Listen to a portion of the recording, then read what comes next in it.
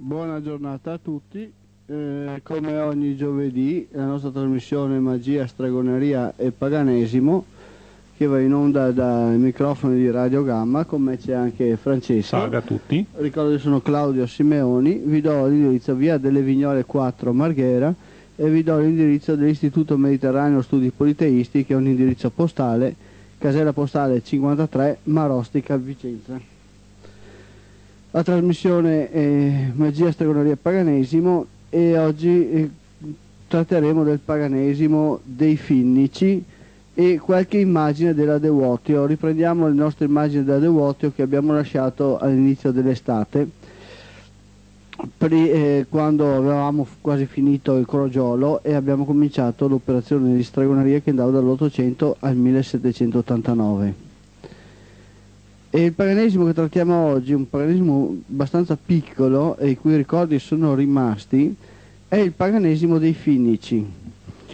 Vi ricordo l'altra volta avevamo trattato, l'altra volta ancora, non l'ultima trasmissione, eh, abbiamo trattato del paganesimo degli Urriti legato al paganesimo, eh, paganesimo fenicio e come le tensioni pagani degli Urriti e delle varie popolazioni, dai babilonesi agli assiri, si sono trasferite nella Siria e sono trasferite nei Fenici fino ad arrivare a scontrarsi con l'arrivo del Dio cristiano, fino all'arrivo del cristianesimo.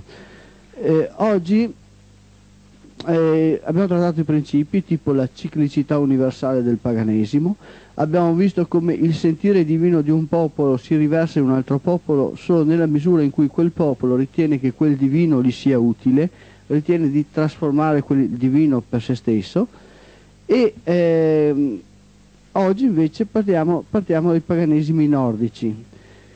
Con il paganesimo finnico lasciamo il Mediterraneo per osservare le religioni del nord Europa, i paganesimi, i paganesimi nordici. Questi paganesimi sono stati sconfitti dal cristianesimo in epoca molto tarda ed hanno posto grandi resistenze giungendo a costruire dei pantheon e a significare delle divinità da opporre all'arrivo del Dio cristiano.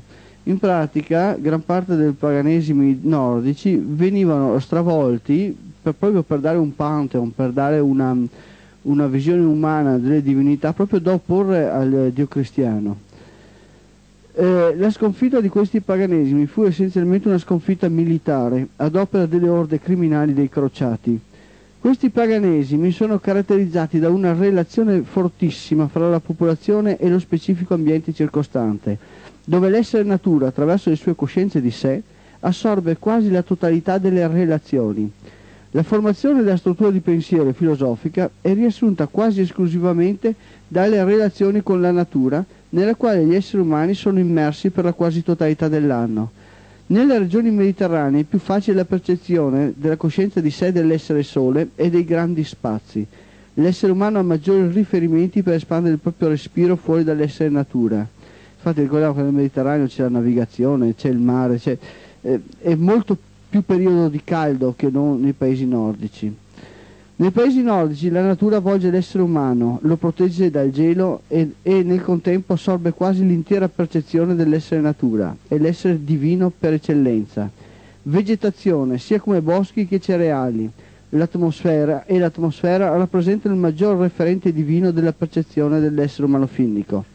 La tempesta è il divino costruttore è l'antenato di ogni coscienza che si esprime nell'essere natura.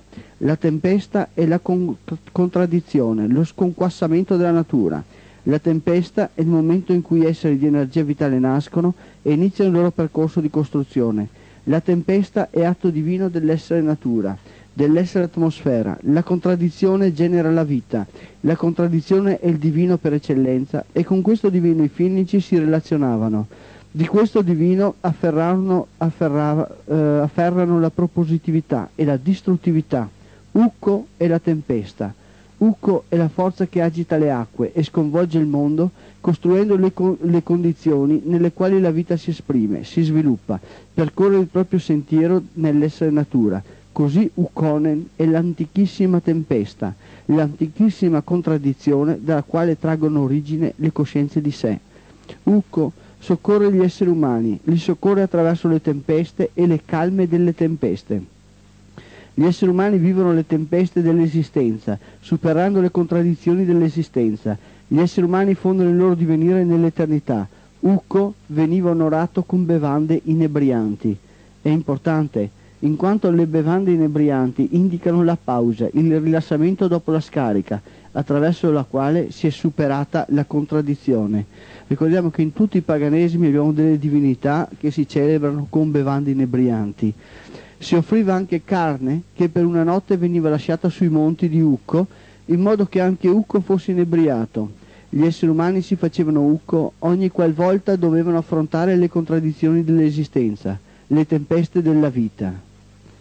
Ad Ucco viene associata Rauni, il sorbo selvatico, i frutti che l'essere natura produce e dai quali l'essere umano trae sostentamento, non so quanti siano gli alberi da frutta nei paesi finici, ma il sorbo rappresenta uno di questi e i suoi frutti, tenuti qualche tempo nella paglia, sono preziosi per gli esseri umani che si cibano quasi solamente di carne e cereali. Rauni è la terra come madre dell'essere natura. Nel paganesimo finnico c'è la percezione del mutamento, come in ogni paganesimo, il tempo come misura del mutamento, garanzia del divenire, garanzia della crescita. Il Marien è questo divino, l'essere umano che muta di luogo, viaggia, il cielo che sposta se stesso, il vento, la crescita degli esseri, il mutamento, il tempo, tutto questo è oggettività del divino, è divino in se stesso, è fondazione di ogni divino e di ogni mutamento. Ricordare Hilmarien per i finnici significa ricordare le trasformazioni, cui sono chiamati nel corso della propria esistenza. Jumala è la coscienza di sé del cielo, il Giove dei Romani, il divino più antico dell'essere natura e che l'essere natura aveva arricchito attraverso le sue trasformazioni. Giumala è padre figlio di ogni essere, come Giove. I cristiani usarono questo nome e questo referente per, chiam- per chiamare il loro Dio infinnico. Il Dio dei cristiani infinnico si chiama Giumala. Per peggior sfregio all'essere atmosfera, al divino che assieme all'essere terra partorì, protesse e alimentò l'essere natura, non si poteva fare ma i cristiani non hanno rispetto per nessun divino, devono storpiare ogni divino per distruggerlo. Solo questo consente ai cristiani di mettere in ginocchio gli esseri umani, impedendo loro di trasformare la morte del corpo fisico in nascita del corpo luminoso. Già l'altra volta, se ricordate, quando abbiamo parlato degli Uriti e dei, e dei Fenici, abbiamo parlato del disprezzo che i cristiani e gli ebrei in generale avevano per Baal, Baal che è l'energia vitale, il principio maschile della vita. Infine i finici riconoscevano il divino che li circondava, il bosco. Tapio era ciò che per i romani era Silvano e Fauno. Per il loro circostante i finnici indicavano il potere del bosco nella forza dell'essere orso, che veniva indicato come lo spirito animale del bosco. I finnici avevano un rito per diventare essi stessi Tapio, ed era il matrimonio dell'orso, col quale si legavano al bosco diventando essi stessi bosco. Ricordiamo sempre questo principio, diventare noi stessi ciò che con noi si vuole relazionare, cioè noi ci relazioniamo col divino nella misura in cui sviluppiamo il divino che abbiamo dentro. La percezione dei finici li aveva portati ad, ad, ad identificare la trasformazione della morte del corpo fisico con la nascita del corpo luminoso che diventa tutt'uno con l'essere terra. I cimiteri erano considerati luoghi sacri in quanto dimore degli esseri umani, ma i finnici sapevano che dove era andato il corpo luminoso, una volta nato dalla morte del corpo fisico, avrebbe continuato a trasformarsi per svilupparsi e attraversare nuove trasformazioni. Simbolico era il viaggio verso nord-ovest, verso le nuove regioni che solo il corpo di sogno poteva raggiungere.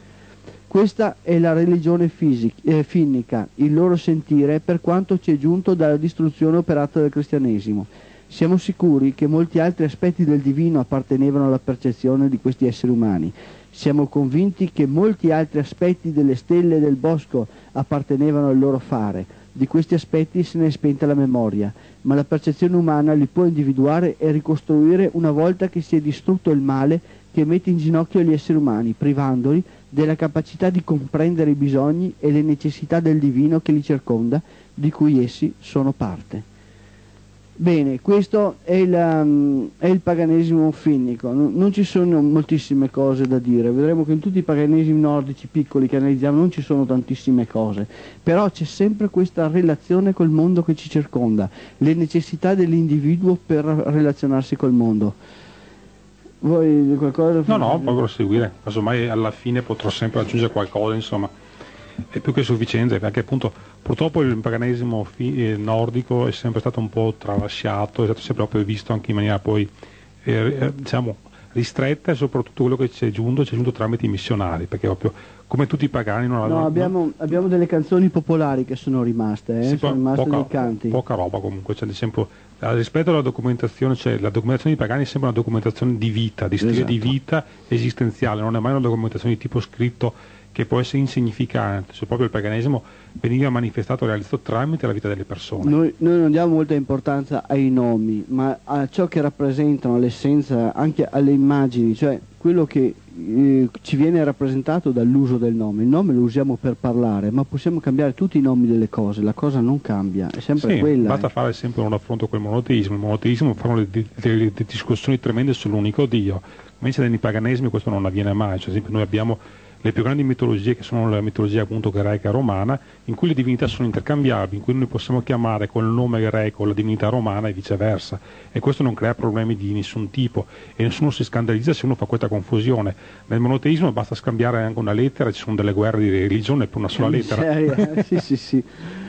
Bene, passando ora al Sentiero d'Oro, eh, voglio ricordare sempre il prologo del Sentiero d'Oro. Ricordo che il Sentiero d'Oro è una è devotio eh, prende lo spunto da un'antica devotio eh, pagana romana che apparteneva alla famiglia dei Deci, la famiglia, eh, la famiglia dei Deci e questo Decio in particolare era un comandante dell'ala sinistra, credo, della cavalleria romana durante lo scontro con i Sanniti. Eh, la sua ala di cavalleria stava per essere travolta dai Sanniti e lui decise di giocarsela tutto per tutto. Allora il pontefice, eh, il pontefice, visto questo, lo fece vestire di bianco, gli fece mettere il piede su una lancia e gli fece recitare tutte le divinità della religione romana, in pratica gli fece eh, chiamare tutto il divino che lo circondava e imponeva a questo divino di seguirlo nella battaglia naturalmente è riuscito nel, nell'intento, è riuscito a mm, capovolgere le sorti della, della guerra e questa Dewotio apparteneva alla famiglia dei Deci. Naturalmente è stata modificata dalla situazione attuale, cioè è stata modificata da me perché la percezione del divino è cambiata, però può servire per costruire tante devotio quanti sono gli individui, cioè ogni individuo può costruire la propria devotio sulla, sulla sua persona, sul suo piacere, sul suo sentire il mondo. Eh, questo devuoto è la devuoto del sentiero d'oro. Il sentiero si può scomporre in molti aspetti, ma è unico. Il sentiero è una coscienza di sé, ogni parte del sentiero è coscienza di sé, l'insieme delle sue parti sono consapevoli di sé. Il sentiero ha bisogno di esseri che lo percorrono, egli provvede a cercarli, egli non impone il modo con cui essere percorso, egli non detta le priorità, egli non detta le specificità, egli non detta gli obblighi, egli non detta i nomi attraverso i quali definire questa o quella coscienza di sé. D'altro canto, io non sono riuscito a vedere l'intero sentiero, ma solo quella parte che coincide col mio essere, col mio fare, con le mie scelte. Il sentiero è libertà sempre, in ogni aspetto dell'esistenza. Il sentiero, nel suo insieme, è l'anticristo. Riprendiamo la Devuotio dall'ultimo aspetto che abbiamo trattato l'altra volta e l'ho ritratto in maniera uguale ma diversa. Fatto conduce l'essere e l'essere alla presenza di Quirino. L'essere impone la sua volontà a Quirino. Quirino insegna l'essere come il costruire città sia per la sua grandezza, anche se questo limita Fauno e Silvano. Fatto conduce l'essere e l'essere alla presenza di Nettuno. L'essere impone la sua volontà a Nettuno Nettuno insegna l'essere come l'essere e il mare siano diversi, ma non nella misura in cui l'essere, solcando il mare, decide di esercitare la propria volontà fondendola con quella del mare. Fata conduce l'essere e l'essere la presenza di Camene. L'essere impone la sua volontà a Camene. Camene insegna all'essere che la fonte è coscienza volta al divenire eterno, di cui l'essere può essere parte, non solo un allegro zampillare d'acqua. Fato conduce l'essere e l'essere la presenza di febbre. L'essere impone la sua volontà a febbre. Febbre insegna all'essere come ella sia fonte di coscienza, trasformazione e fine per l'essere che non eserciti la propria volontà. Lei costruisce la coscienza là dove l'essere abbandona la via del proprio divenire. Il quadro 48. Evocare Quirino significa concentrare la propria attenzione per costruire migliori condizioni di vita per l'intera specie. Quirino è la coscienza di tutta la città, quella città. Come ogni città tende ad espandersi, così, così la coscienza di sé Quirino tende ad espandersi sollecitando ogni essere umano ad espandere il proprio divenire all'interno di quella città. Quirino affascina gli esseri, eh, gli esseri umani attraverso la costruzione della città, li affascina rendendo la città sicura e incitando gli esseri umani ad agire affinché la città diventi sempre più sicura. Quirino sviluppa il proprio potere di essere attraverso lo sviluppo del potere di essere di ogni essere umano della città. Più quella città è ricca, più è alto il tasso di benessere degli esseri umani, delle fasce sociali più deboli e maggiore il potere del Quirino di quella città. Detto alla cristiana, detto alla cristiana, perché noi pagani adoriamo Quirino? Per alimentare la tensione attraverso la quale rinnovarci, per continuare a crescere assieme alla città nella quale abitiamo o dalla quale siamo affascinati o attratti. Quirino è il divino di ogni città, con il quale gli esseri umani si possono legare, riconoscendosi e legandosi al divenire di quella città. Ricordiamo che nella religione c'è sempre eh, la, la, coscienza del luogo, eh, lo spirito del luogo, ogni luogo, il bosco, la fonte, sono sempre delle, degli esseri in sé, delle coscienze. Quadro 49. Evocare Nettuno significa evocare la coscienza di sé di tutte le acque del pianeta, delle quali diventiamo parte ogni volta che, usando la nostra attenzione, ci immergiamo o le solchiamo. Evocare Nettuno significa attivare il divino che abbiamo dentro di noi per armonizzarlo con tutte le acque del pianeta. La coscienza di sé Nettuno è ogni acqua, ma diventa poderosa quando si è davanti al mare. Il mare e l'oceano esprimono l'intera possenza di Nettuno, di cui siamo parte nel momento stesso in cui ci facciamo Nettuno. Nettuno chiama gli esseri umani affinché nell'affrontarlo esercitino la loro attenzione. Così Nettuno, eh, liscia le linee di tensione dell'essere umano estendendo il suo potere di essere. Questo fare alimenta la coscienza di Nettuno, mentre Nettuno alimenta il potere di essere di ogni essere umano. Detto alla cristiana, perché noi pagani adoriamo Nettuno?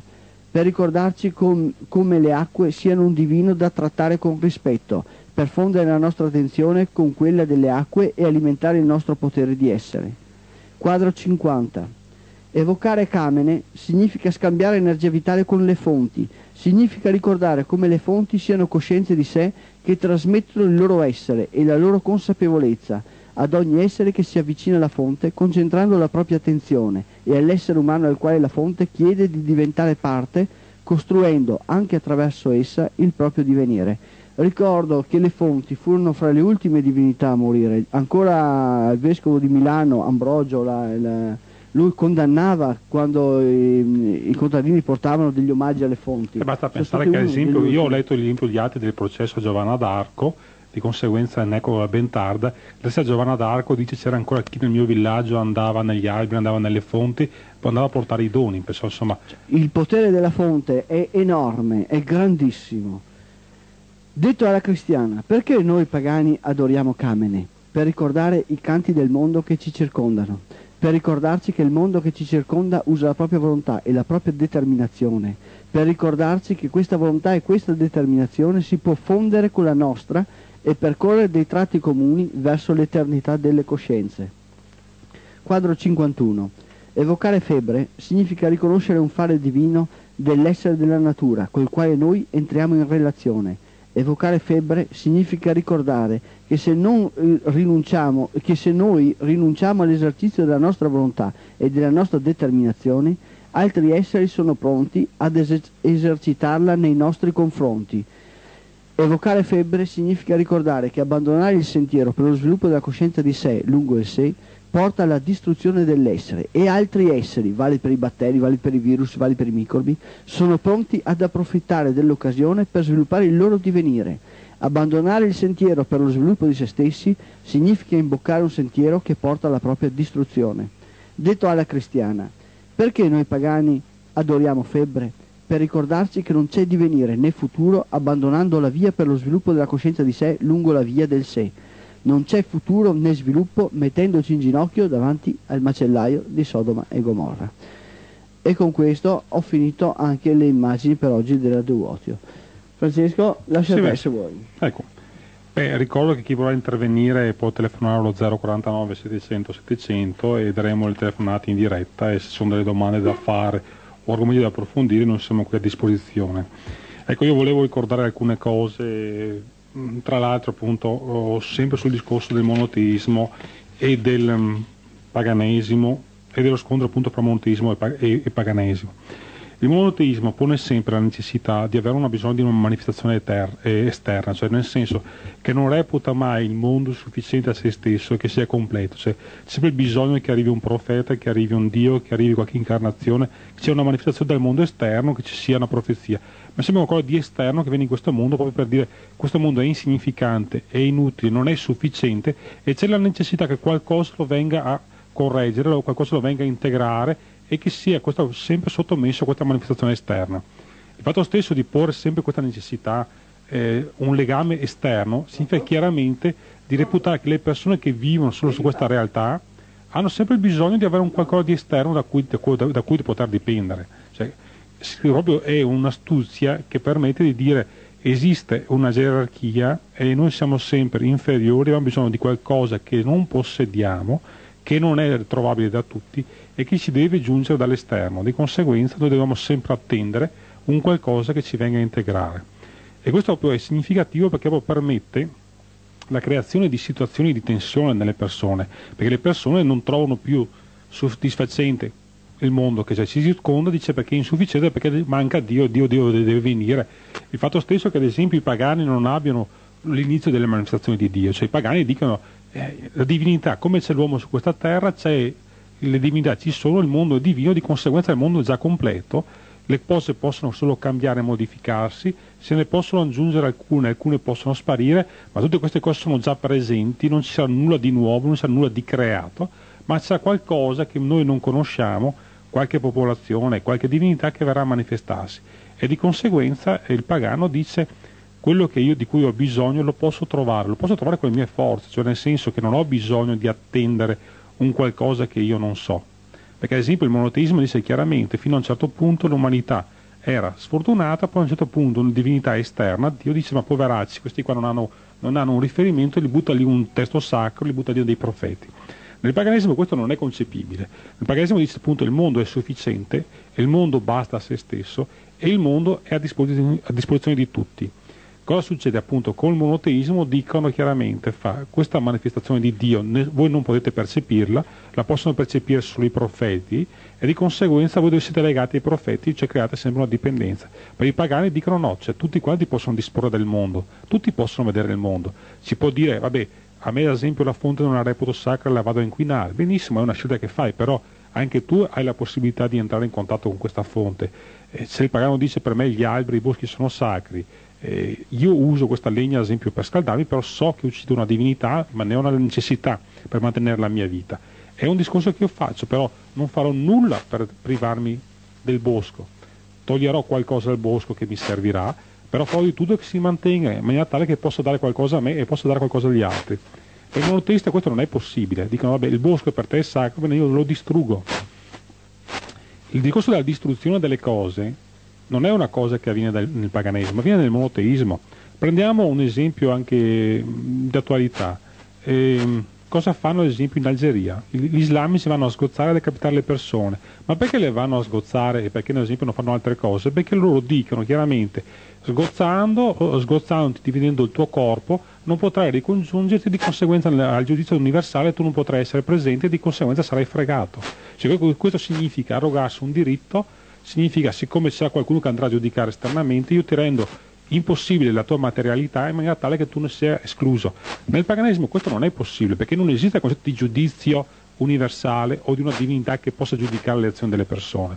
Perché ad esempio nei pagani, nel paganesimo romano, soprattutto quello greco, c'erano delle manifestazioni divine che potevano essere disapprovate, proprio perché dicevano chiaramente anche la divinità non è esclusa da commettere degli errori o delle violenze, di conseguenza come la divinità non è perfetta, l'uomo non può essere perfetto e di conseguenza può realizzare la, perfe- la perfezione o può tentarla tutte le persone come devono tentare la divinità. Di conseguenza la divinità non diventa un modello fondamentale, di conseguenza quando tu compi un'azione violenta, la compi per la tua scelta, ne sei responsabile.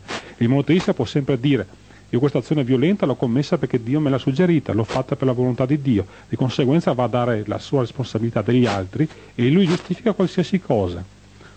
E questo, mm, e questo è, appunto, è, sono le tendenze più classiche proprio nel monoteismo.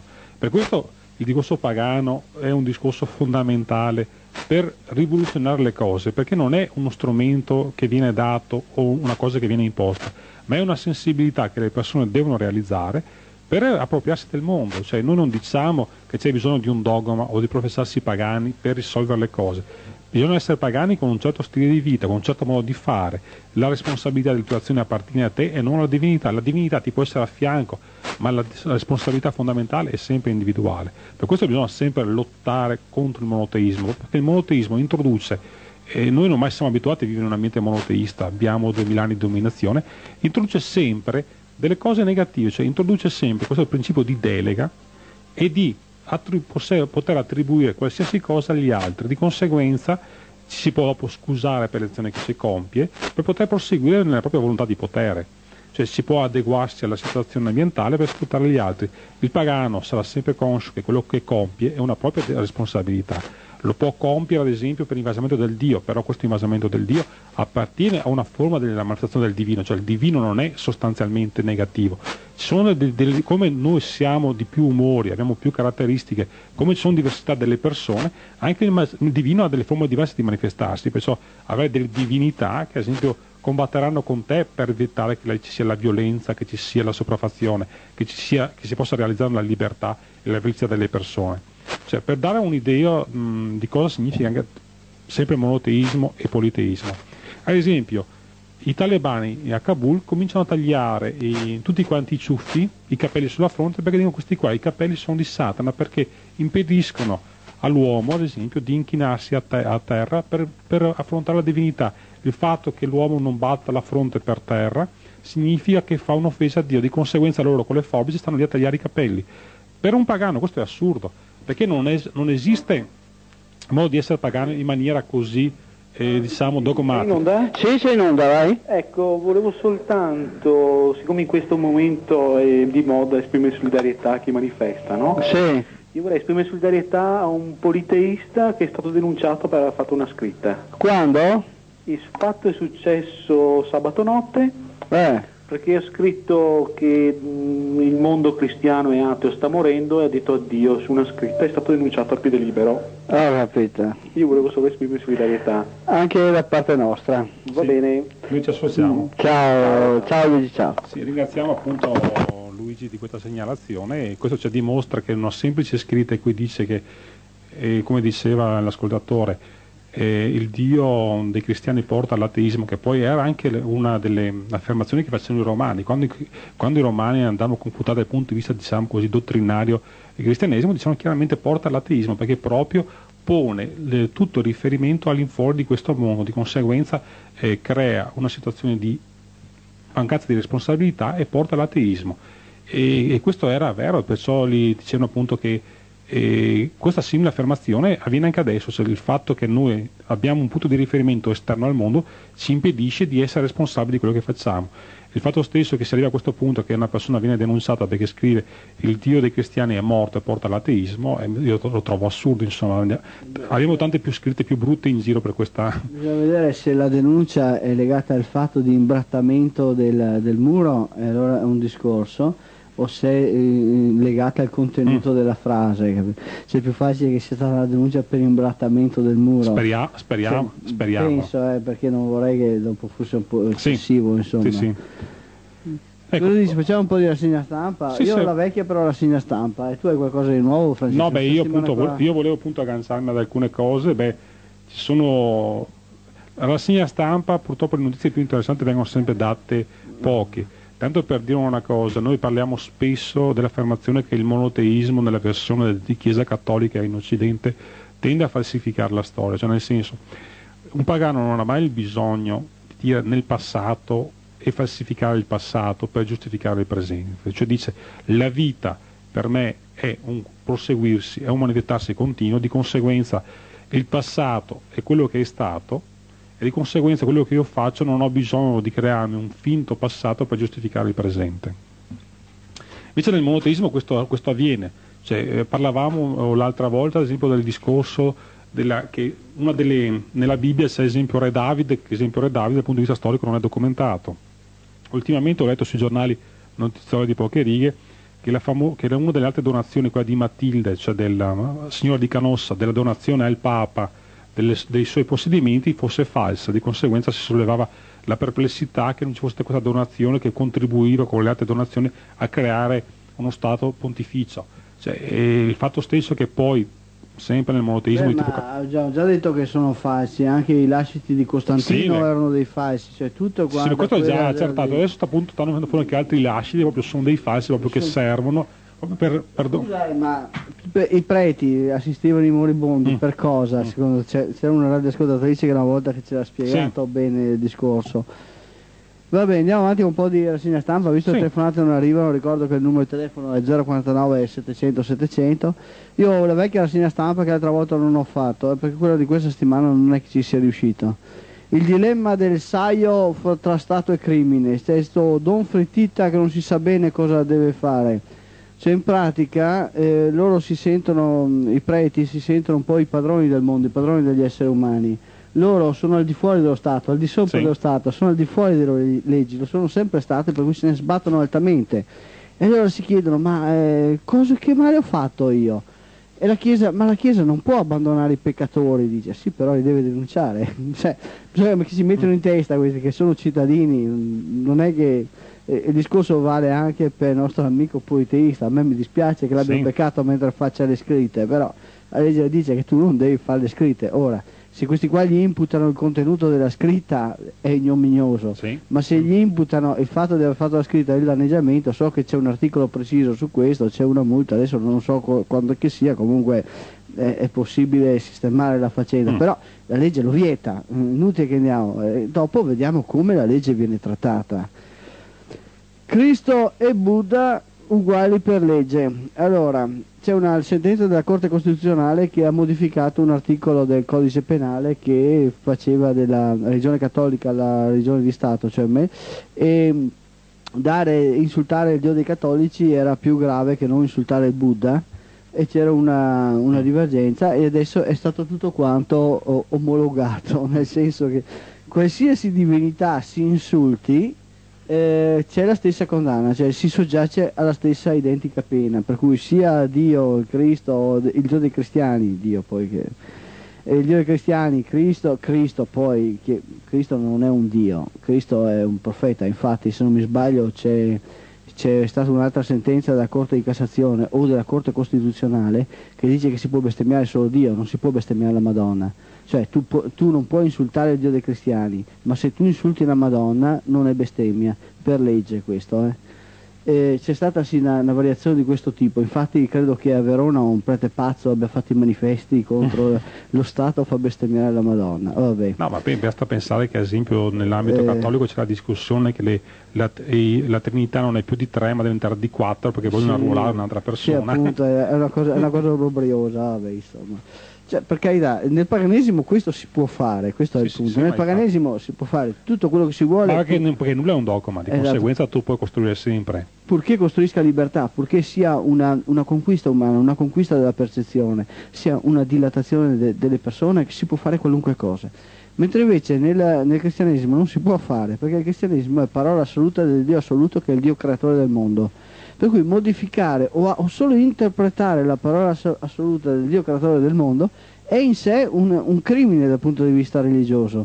Cioè, se io eh, dico, se, se, Socrate ha fatto qualcosa di male, se Socrate stuprava i bambini, è Socrate che stuprava i bambini, non ha mai detto agli altri voi dovete stuprare i bambini. Cioè, è un uomo che ha fatto delle cose che non vanno bene.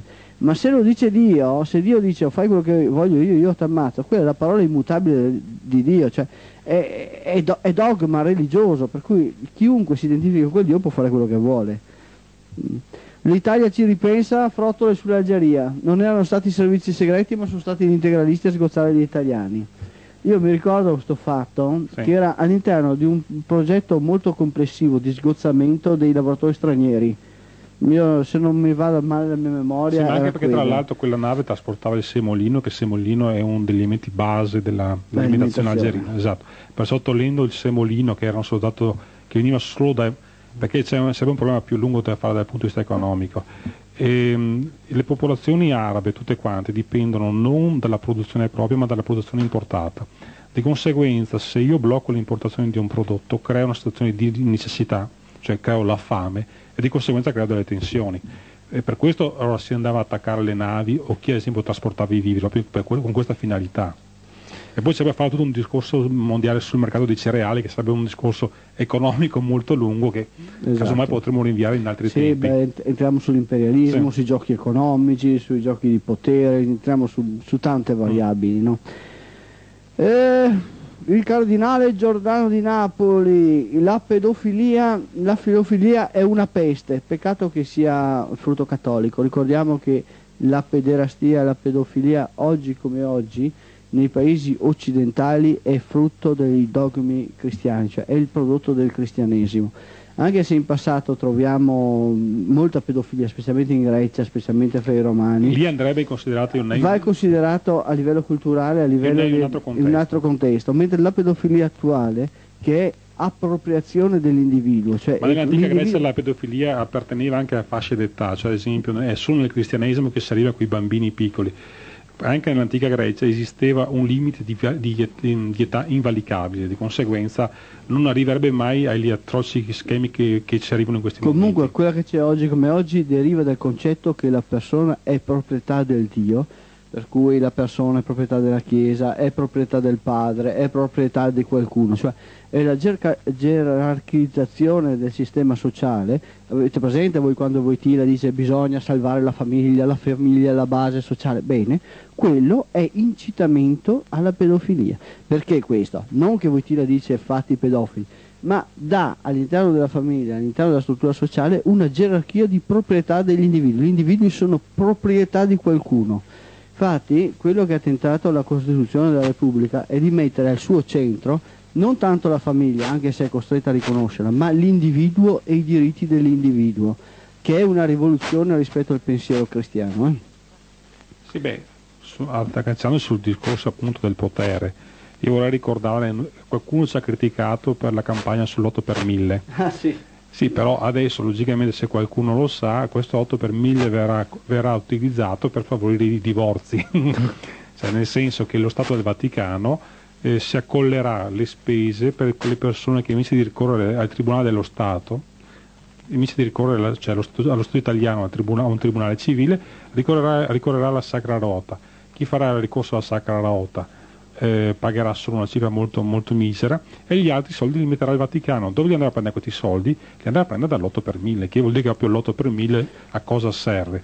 Poi il fatto stesso che la Chiesa Cattolica faccia questa pubblicità, faccia questa scelta di utilizzare dei fondi dati dallo Stato per creare una struttura del genere è uno scopo diciamo sovversivo, cioè nel senso che tende a togliere il potere dello Stato, cioè dire fa benissimo lo Stato ti riconosce un diritto, eh, se tu ti rivolgi allo Stato vuol dire che riconosci validità allo Stato, benissimo, visto che tu vuoi ricorrere al divorzio, io sono, sono disposto a tutto, purché tu ti sottometta a me, io ti pago, non ti faccio spendere, ti faccio spendere quanto allo Stato, però tu devi sottostare alla nostra volontà. Cioè, già questo è un principio Devi sovversivo in se stesso. accettare l'autorità della Chiesa cattolica. Cioè, perciò loro, tutta la campagna che hanno fatto contro i divorzi, visto che i divorzi ci, ci sono e sono delle manifestazioni che, ci- che- che avvengono, benissimo, cerchiamo di riprendere queste cose e di riportarle sempre sotto il nostro dominio, cioè qualsiasi cosa va bene purché noi la controlliamo, perché noi la dominiamo.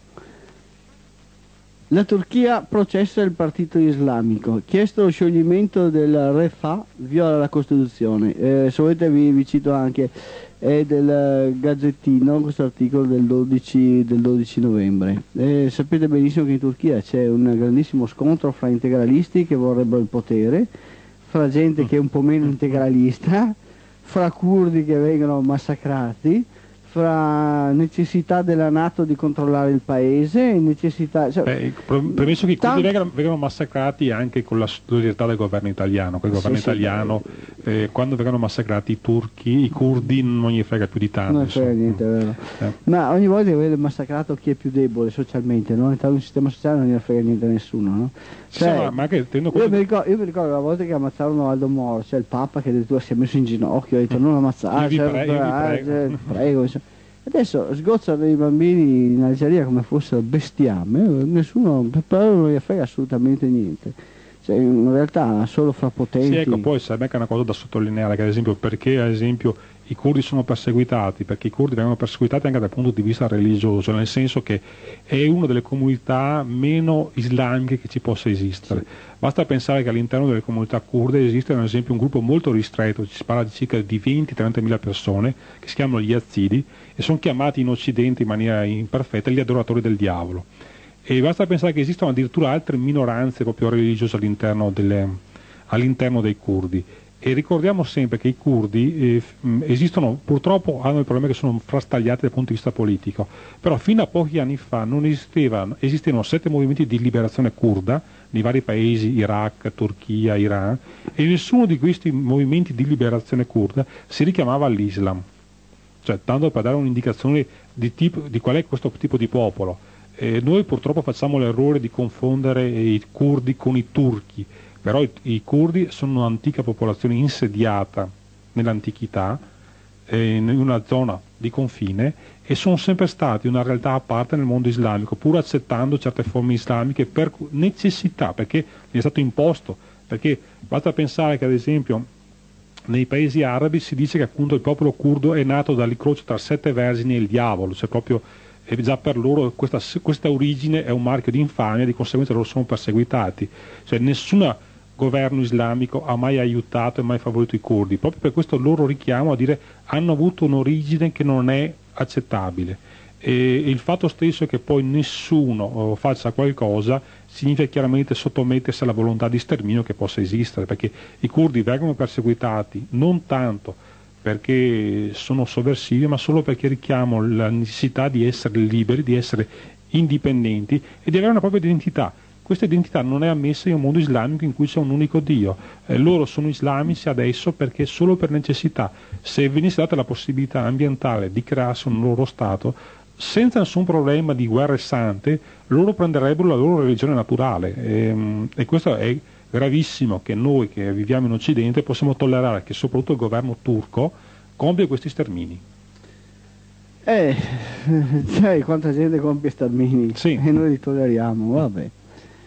Super miliardaria in convento, il gazzettino del 13 novembre 97, e questa ce l'ha raccontata una radioascoltatrice. Allora, Alicia Koplovic, 47enne, regina delle costruzioni, con tre figli, di cui uno handicappato, sembra, si fa monaca dopo aver ceduto beni e titoli per, attenzione alla cifra, eh, 1200 miliardi. Allora, questa ha ceduto beni e titoli per 1200 miliardi, si è fatta monaca. Crisi mistica dopo il tradimento del marito. Da qualche tempo frequentava il gruppo ultraconservatore Legionari di Cristo. Mm, vi dice niente questo? Pensate un attimo a quei raduni in America che sono avvenuti. eh. Pensateci un attimino. Beh, a noi si basta in Mm. Italia l'Opus Dei, che insomma come, come potere non è male, insomma. Sì, come potere non è male, ma in Italia c'è sempre la possibilità di tagliarli ancora, no? Cioè, Sì. tenerli un attimo isolati.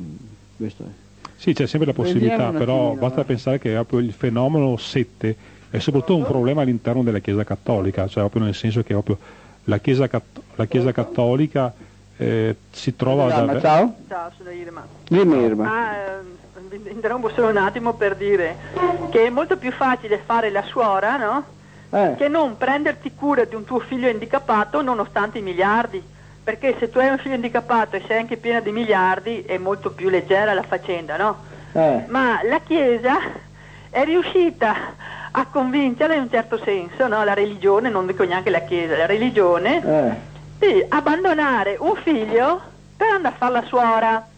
Dunque, guarda la cattiveria umana dove arriva. Vi saluto. Ti saluto a te. Ciao. Sì, beh, eh, questo, questo è chiarissimo che sia questa volontà di fare e soprattutto è tipico, cioè nel senso di dire visto che il Dio è fuori di questo mondo tu te ne puoi infischiare, lo puoi abbandonare, se poi va peggio non importa tanto se è un Dio che è fuori da questo mondo, di questo Dio questo mondo lo può anche Sì, distruggere. Anna, dimmi. Eh, buongiorno, sono Anna. Dimmi ciao. Ciao Anna. Dunque parlo con Claudio? Sì? Eh, io ascolto è diverso tempo che ascolto. Vorrei capire qualcosa. Eh. Se mi rispondi, io chiudo eh, la, la radio e mi parli per telefono perché non sento Va, niente. va bene, d'accordo. Allora, io, mm, siccome che a me piace capire le cose e ascoltare sia a destra che a sinistra, dopo ragiono con la mia testa. E vorrei sapere come mai che malgrado tutto quello che si dice a Chiesa, e come mai che va sempre avanti? Cioè che tutti corre, che tutti implora, e quando chi ha necessità si rivolge al Supremo. Allora, se realmente non si crede, Eh, nessuno dovrebbe frequentare le chiese. beh, quelli che non credono almeno. Pronto, sento niente? Sì, quelli che non credono almeno. Sì, almeno, perché mi, ripeto, a me mi piace vedere quello, ma non per giudicare, eh, perché mi piace capire. Eh, E vedo che malgrado uno che gli dice tanto su a chiesa, naturalmente a chiesa sei preti e, e io ne vedo de pecche, anche Sì. sulla mia pelle mi gode de- de- eh, dei strascichi. E, però malgrado tutto, quando si trova in necessità, in disperazione, eh, pronti, si alza gli occhi al cielo. eh. Allora? E allora è la sconfitta che si è subita fin da bambini. Il gioco Eh. non è tanto la razionalità della persona. Cioè, tu razionalmente sai che la Chiesa mente. Cioè, razionalmente lo sai.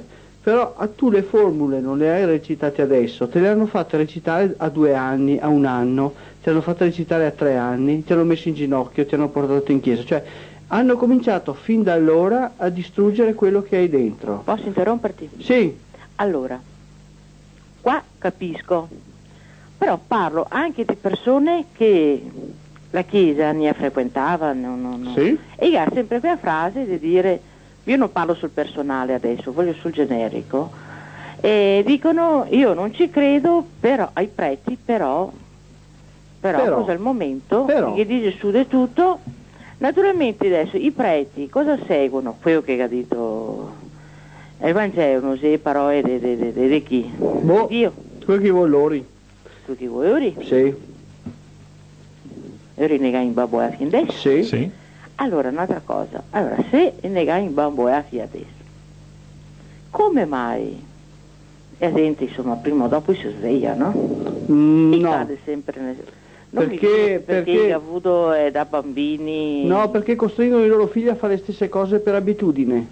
No, no, no. Sì? Anche per ignoranza. qua, perché se sei da bambini ti do ragione, ma quando che si diventa adulti Eh, eh, si ragiona, si guarda... Non eh, tutti. non serve a niente, non serve a niente. Cioè, il ragionamento, il guardare, il pensare, non serve a niente rispetto a quello che si è interiorizzato da bambino. Non so se riesci a capire perché la. Chiesa Cattolica ha chiesto l'insegnamento della religione per- questo, questo sistema, secondo il tuo ragionamento, Eh, eh, ti metti bisogna e nuove leve e nuovi, i nuovi arrivi. bisogna che noi eh, liberiamo i bambini, non li mettiamo in ginocchio a nostra volta. Basta pensare che prima di questo concordato non c'era l'insegnamento nella scuola, nella scuola materna della religione. Dunque un genitore non puoi dire bambino mio quando sarai grande deciderai tu. Eh, Gran no, parte dovrebbe, no. però gran parte non fa così. no. Eh, se tu hai seguito le nostre trasmissioni, Eh, Noi abbiamo detto, quando abbiamo parlato dell'educazione, che nel paganesimo bisogna che si educa l'adulto. Cioè da educare è solo l'adulto, non il bambino. Il bambino cresce sempre imitando l'adulto. Cioè se un bambino cresce in una famiglia che ha sempre un libro in mano, impara a leggere molto presto e ad amare la lettura, perché i genitori ne parlano entusiasti. Se un bambino cresce in una famiglia dove nessuno legge, lui non leggerà e farà una fatica enorme per leggere, ma così per tutte le cose. Allora, da educare sono gli adulti, non i bambini. Allora, come fa un adulto avendo una, una educazione da bambino che non può cambiare perché, ripeto il discorso di prima, Eh. quando capita la necessità si rivolge, si rivolge al cielo, come fa a insegnare al figlio? Molto Se bene. lui stesso non è capace. Allora, l'adulto è da mettersi in testa questo. Per insegnargli la religione cattolica, per metterlo in ginocchio da bambino, gli hanno fatto una violenza eccezionale.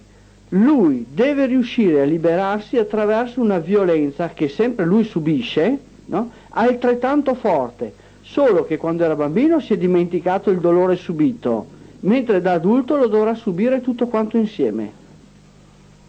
Per cui ha paura di affrontare questo dolore. sostieni. Teoricamente sembra facile, però non, No, no, guarda, è non difficilissimo. eh. mai. È difficilissimo. E dopo un'altra cosa, non si, si riuscirà, per- sai perché secondo me? Sì? Perché eh, l'insegnamento che si è avuto si sa il risultato. Esatto. Quello che se vuoi fare eh, insegnare alle- ai nuovi figli, ai figli, Sì? eh, non si sa come chi va a finire. Ma e a me come, con mia figlia credo che mi sia andato abbastanza bene, poi non so. Però gli ho insegnato a guardare se stessa, se non Quanti altro. anni ha? 16 anni. Ah, beh. Beh, ma ho cominciato quando ne aveva uno però, sai. Non adesso, mica portata in chiesa, non l'ho mica messa in ginocchio, non l'ho mica fatta battezzare, non l'ho mica costretta ad andare a catechismo. un'altra cosa. Dimmi. Dunque, almeno avere un po' di timore, un po' di limiti, un po'... Niente, secondo la tua religione tutto è lecito, Mm. No, tutto è permesso, assolutamente. secondo coscienza? Rispe- ris- secondo la mia religione bisogna rispettare tutte quelle regole sociali che portano a sviluppare gli individui, a sviluppare le persone, a migliorare il modo di vivere, a migliorare il modo di essere insieme al sistema sociale, non appropriandosi di Comunque è qualcuno. molto vago questo insegnamento qua, per non si capisce niente, nel senso non... non, non Eh vabbè, ne potremmo non- parlare più Non è specificamente. chiaro come, come intendi rispettare il prossimo, va bene. va. Beh, quello è già una, una roba una generica. cosa. Quello è già Dopo. una cosa generica, però non è che non ci siano almeno, limiti. almeno su Chiesa che si dice comandamenti, non Sì, ma è una rubare. porcheria, eh? eh? Guarda che i dieci comandamenti servono ai più deboli, non al più forte. Cioè a Dio non gli si dice tu non devi rubare, ricordatelo. E questo è mostruoso, perché vuol dire che il padrone può rubare e tu no. Ah, dai, no, no. Come no? Hai mai, hai mai visto, hai mai visto la Chiesa che non ha Ma rubato? La Chiesa ma ha sempre Dio, rubato. prendi come una persona, te lo prendi, non, non, non Perché- capisco mica. Peggio di una persona, un Una delinquente, persona. non allora una persona. va nel mistero come a Chiesa, perché la Chiesa sta su col mistero, eh. No, ma io non gioco al mistero. Io dico che è un delinquente per tutte le cose brutte che ha fatto, Chi? per tutte le sue azioni. Dio. Ecco, ha mandato il diluvio universale e ha sterminato l'umanità. Ha distrutto Sodoma e Gomorra, ha mandato le pestilenze, ha- ne ha fatto di cotte e di crude. Peggio di così cosa deve fare ancora per essere considerato malvagio? E i dieci comandamenti non servono perché le persone si comportino in maniera giusta, servono perché il più debole non, non diventi qualcosa, non, non riesca a, a superare la, la barriera che gli impedisce di cogliere dall'albero della vita eterna. Ricordiamoci che il Dio dei cristiani ha impedito all'essere umano di cogliere dall'albero Allora, della vita senti- eterna, senti, diventando Claudio, come io Dio. purtroppo sono una persona ignorante in tutti i campi. E- Scusa, ma tu No, non rubare, non rubare, nel- hai mai nel conosciuto un papa che non rubi? cattolica, al momento, veramente mi non sono mai andare nei, nei- nei- nei- patronati, non sono mai andare da nessuna parte, eh. Eh, ma sai... Però mh, credo in Dio, che se qualcosa in alto, No, insomma. non c'è. non sai il Dio. Non c'è, non questo è il seguo i punto. preti perché per me mandarei a lavorare tutti. Ma questo non è importante. Però faremo. serve, eh, insomma, qualcosa serviranno, no? Sì che sì. Eh. E dopo sono ignorante anche nel campo tuo, perché bisogna essere preparati, leggere, e, Mm, insomma, guarda, come fai te a sapere Io, tante io cose, leggo per necessità.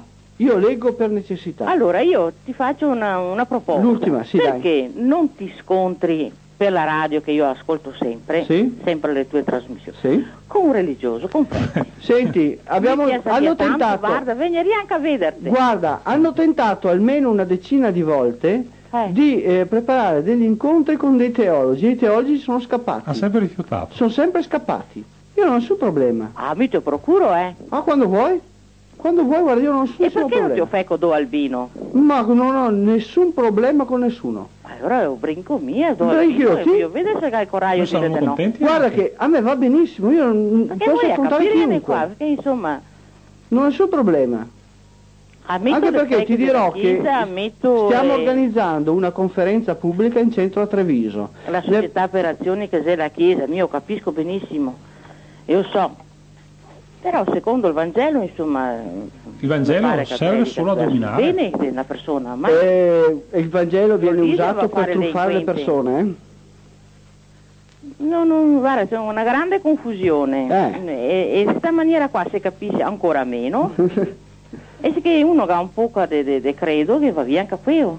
Meglio, Speriamo. È già un buon passo. È già un buon passo. meglio perdere qualcosa che pesa. Va bene, proviamo a sentire un'altra telefonata. Sì, certo, Ciao. comunque, Ciao. comunque per fare un con- confronto con qualcuno. Quando, quando vogliono. perché con me è facile fare i confronti. Ma guarda, no, noi, noi non siamo violenti con i più deboli. No, violenti. Noi siamo duri, duri capire, con chi mette in non ginocchio le persone, non qua, con le non persone. sono all'altezza, vorrei capire che ne qualcosa. non ti preoccupare, vedrai che capirai più di quanto pensi. Vabbè, saluti. Ciao, arrivederci. ciao. Sì, no, sul discorso della libertà. Mm. Vabbè, Va bene, richiamerai. se ben ricordiamo sempre il numero telefonico che è 049 700 700 e chi vuole andare in diretta la trasmissione verrà la telefonata andrà in diretta. Ecco. Ciao Giampaolo. Ciao, Ciao. Dimmi. ciao Francesco.